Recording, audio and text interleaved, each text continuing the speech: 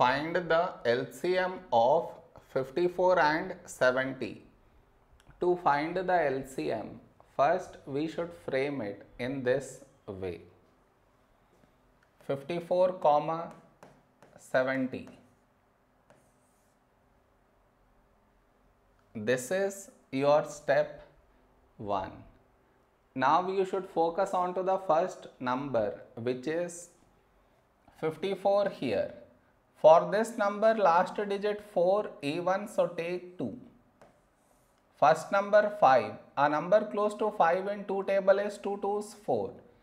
5 minus 4 1 1 carried forward 14. When do we get 14 in 2 table? 2 7's 14. The other number 70 last digit 0 so this is divisible by 2. First number 7. A number close to 7 in 2 table is 2 3 6. 7 minus 6 1 1 carried forward 10. When do we get 10 in 2 table? 2 5's 10.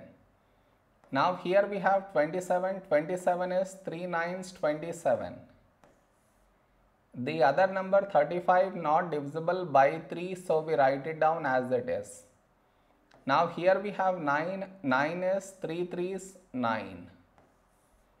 The other number 35 not divisible by 3 so we write it down as it is. Now here we have 3, 3 is a prime number so 3 1's 3.